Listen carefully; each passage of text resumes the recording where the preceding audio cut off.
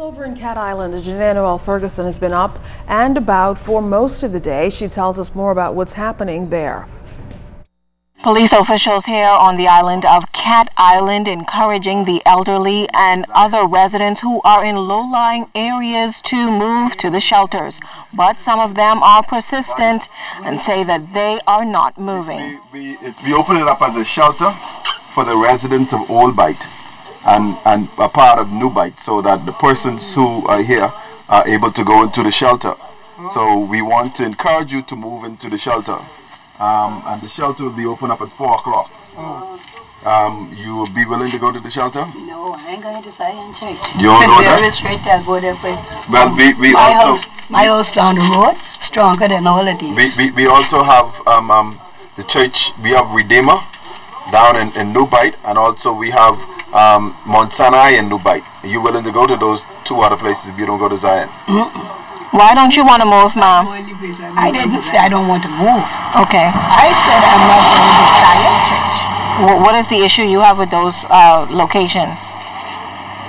And maybe I have a big issue, bigger issue with their building and my building, even though this all in, in weak. I rather go right down to the, my house on Joe Hill. I think that's stronger than any one So, of these. so you will be here. moving to, to that location? If I have to move, that's where I'll go, even though I don't have no light in it. And I don't have no safe light.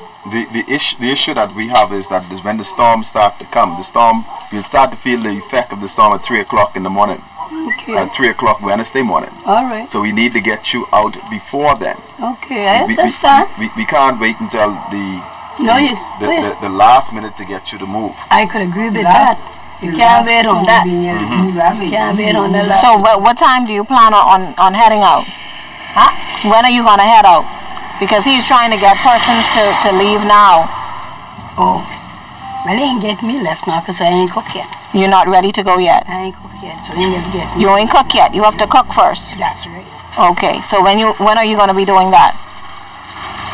I can answer that question right Okay, now. okay, but you're not ready to leave. And I'm not going in Zion Church. You're not going in Zion Church. No. Okay. What about you, mom? I may go later. Huh? I may go up there later. You may go later, mm-hmm. but you're not prepared to go now. No, no, no, no. no. I got to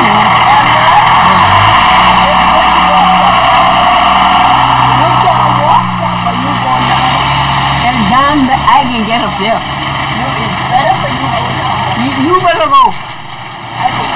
I can walk too. Well, obviously, these two women say they're not ready to leave, although police are trying their best to encourage residents, especially the elderly, to move out of their homes and into the shelter. We'll bring you more from Cat Island in a later report. Janae Noel Ferguson, ZNS Network.